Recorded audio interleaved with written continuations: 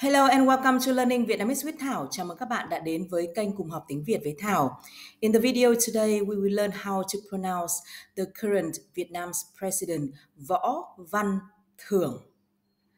Cách phát âm tên Chủ tịch nước Võ Văn Thưởng.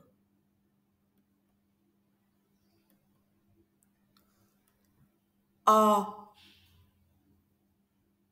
O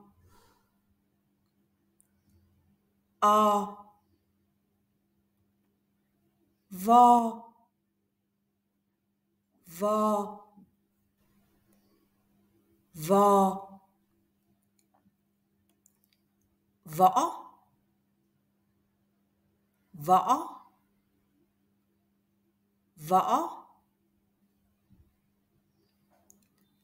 Ăn ăn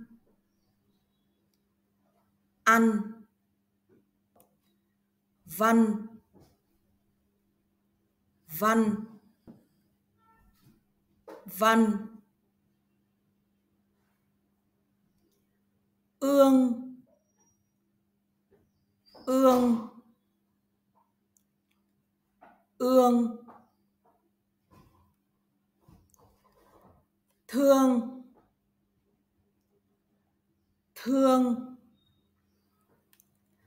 thương, thưởng thưởng